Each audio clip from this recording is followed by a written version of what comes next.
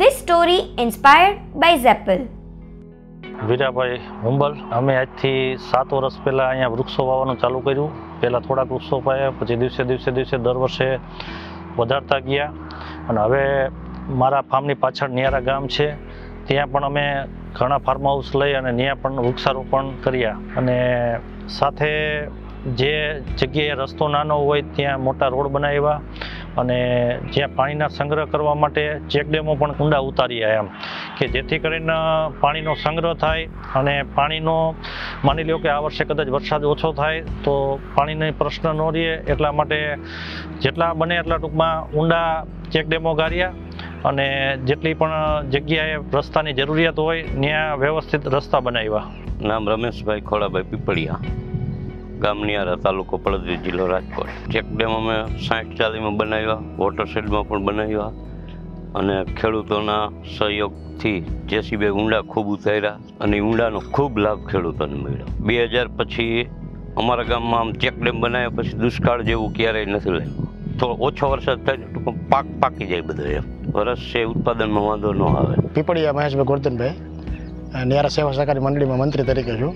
અને અમારું ગામ નિયારા નિયારા ગામની અંદર અમારે છેલ્લા ઘણા વર્ષોથી આ જે સાઠ ચાલી અને વોટરશેડની યોજનાના ખેત તલાવડાઓ અને વોટરશેડના જે તળાવડા બનાવ્યા છે, એમાં ઘણા પ્રકારનો અમારો ફાયદો થયો છે.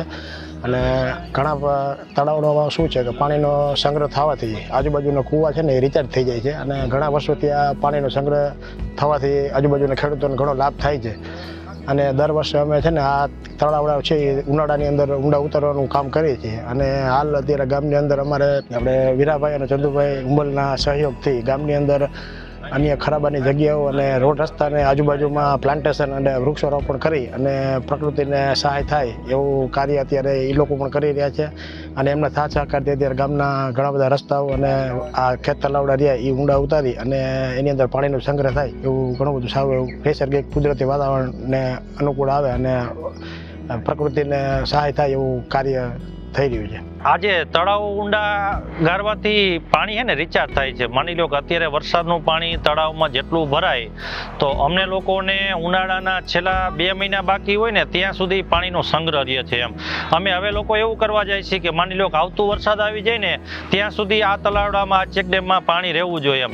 જેથી કરીને ટૂંકમાં ક્યારે પાણીનો પ્રશ્ન ન રહે. તમે ઉનાળામાં પણ ખેડૂત વાવેતર કરી શકે અને ઝાડવાને પાણી પહોંચાડી શકે ને ઝાડવા એ પાણીથી ચાલી શકે, રહી શકે એમ.